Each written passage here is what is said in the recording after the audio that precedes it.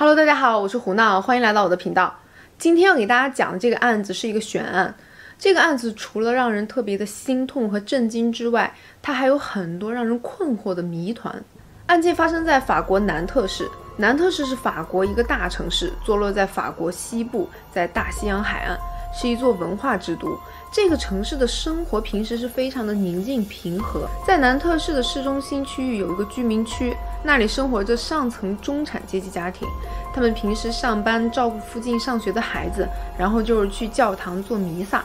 总之，生活是十分的安静祥和。直到泽维、彭迪、里格奈斯一家人被谋杀后，彻底的打破了这个城市的安宁。这是一个幸福的大家庭，父亲泽维是法国贵族家族。他也有世袭的伯爵爵位，他也是一个商人，小有成就，平时性格很好，很喜欢也善于与人交流。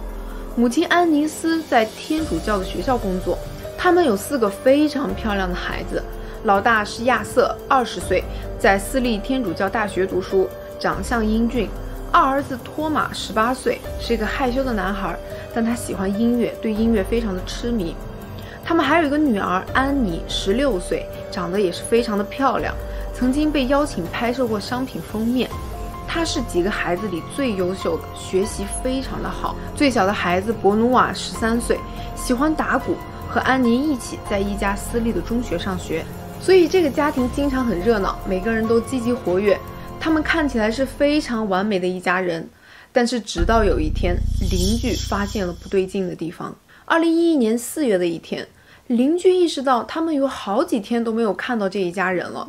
看到他们的房子和百叶窗也都是一直关着，信箱上还贴着一段话，说不要将信件留在这里，请退回给发件人。这样的景象让邻居觉得非常的诡异，因为据他所知，安妮斯会经常开着百叶窗，即使全家人去度假也会一直开着，并且还发现他们家其中一辆车一直停在原地。大家想想看啊，他们六个人要一起外出的话，不可能只开一辆车，那是怎么也挤不下六个人，还有两条狗和大大小小的行李的。所以邻居是越想越觉得不对劲，便立刻报了警。接到报警后，第一次来的是民事警察进行探访，来检查是否有异常情况发生。在警察一直敲门无人应答的情况下，他们叫来了开锁匠，打开了房门。随后进入房间后，他们进行了仔细的检查。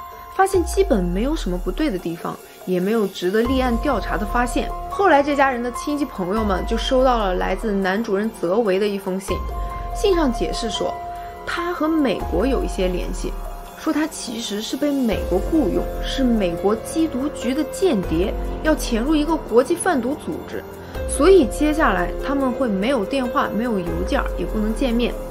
他们也都会被变换身份以保护自己。其中有些朋友觉得泽维夫妇平时很友善，也很优秀，所以这件事情有可能是真的。但是安妮斯的亲人并不这样认为，他们觉得这件事情太奇怪了，因为安妮斯从来不会不告而别，更不会一通电话都不打就带着孩子们消失。于是警方之后多次进入泽维家进行调查。他们除了发现相框里的照片有被带走之外，仍然没有任何其他的线索和头绪。但是就在调查人员第六次进入泽维家后，他们发现了一个令所有人都震惊不已的情况：警察在阳台下发现了奇怪的东西，于是便决定挖开了阳台下的地面，发现了用胶带绑着的大黑袋子。当时所有在场的人都有了不好的预感，正如大家所想的那样。那些黑袋子里装的竟然是一家人的尸体，但是就在调查人员认真检查现场时，他们在一个坑里找到了母亲和三个孩子以及两条狗的尸体，在另外一个坑里找到了二儿子托马的尸体，而他们的父亲泽维的尸体并没有找到，并且每个尸体旁边都放着一个宗教圣像、一个蜡烛和一个十字架。这是天主教土葬的方式。很显然，凶手和这些被害人之间是有明显的情感纽带的。这也就意味着，消失的父亲泽维成了最大的嫌疑犯。警方也是立刻发布了通缉令。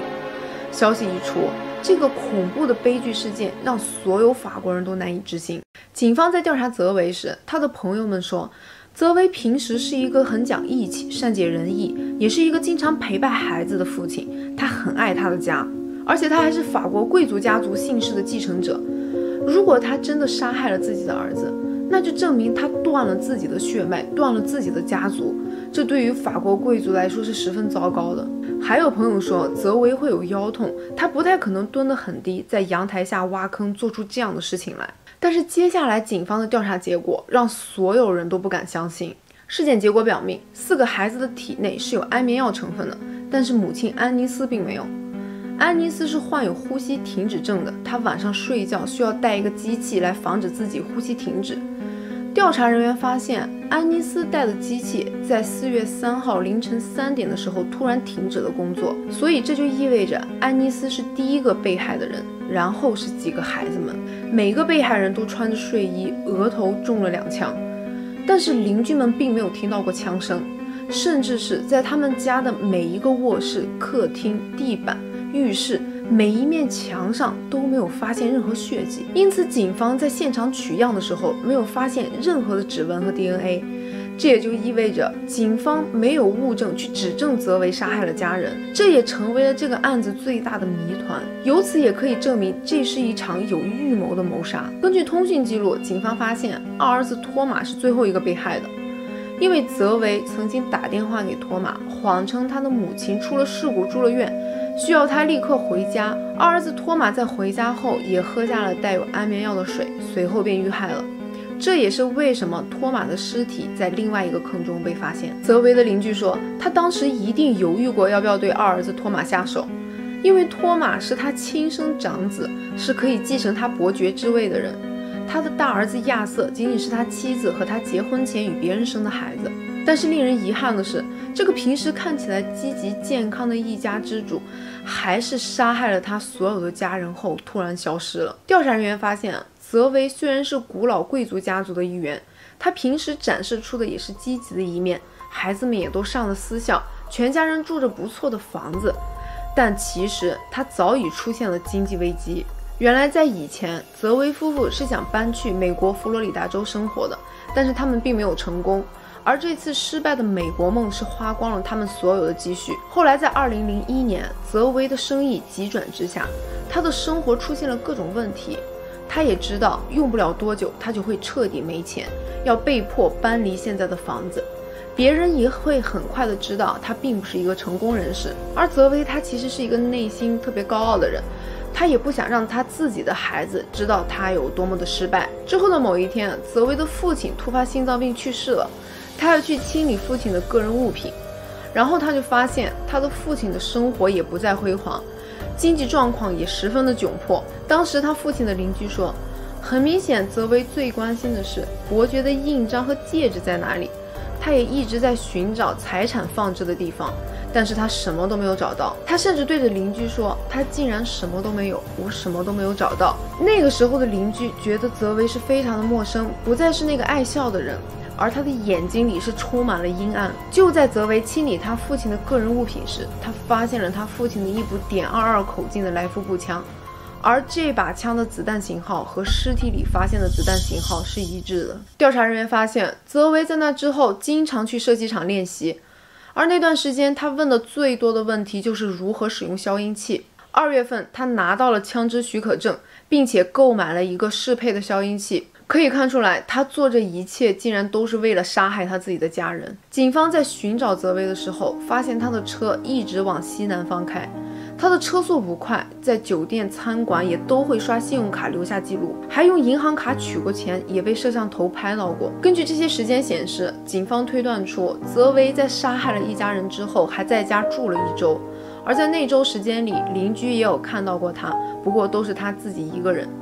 调查人员最后发现他的位置是阿尔让湖畔罗布吕纳附近的一个酒店停车场，他将车停在那里，背着一个长的布袋走了出来，布袋里面应该就是那把步枪。他最后看向监控画面，像是在说再见。很明显，泽维在杀害家人之后做了大量的工作，没有留下丝毫的证据，但是他在逃亡的路上却没有刻意抹掉自己的行踪，而且他的车速很慢，并不像在逃亡，这就非常的奇怪。没有人知道他这是为了什么。阿尔让河畔区域大部分都是悬崖和山林，泽维的行为就让人觉得他是为了去丛林中自杀的。但是警方根据数据分析，一般亲人是凶手的家庭案件，凶手都会在现场自杀。泽维做了大量的工作抹去证据。很明显，他是预谋作案，并且是想延迟尸体被发现的时间的。所以，警方派了大量的人力物力，对整个区域进行了长达两个月的细致搜索，包括大小的山洞和每一片丛林。结果并没有找到泽维的尸体，也没有找到任何他的踪迹。很多人猜测，泽维可以在附近的海港坐货船离开，也可以沿着高速公路到意大利。或者逃上火车去克罗地亚等等，因为他的长相比较大众化，也没有什么明显的特点，所以抓到他就更难了。因此，这个案子至今都没有抓到凶手，也成了法国著名的悬案之一。真不知道这个凶手每天照镜子的时候是怎么面对自己的。我相信这个杀害妻儿的恶魔总有一天会被绳之以法。谁的生活不是起起落落、充满波折的？我们自己遇到困难的时候，要积极调整好自己的心态。要知道，办法总比困难多，车到山前必有路。希望大家都保持警惕，保持安全。我们下期再见吧，拜拜。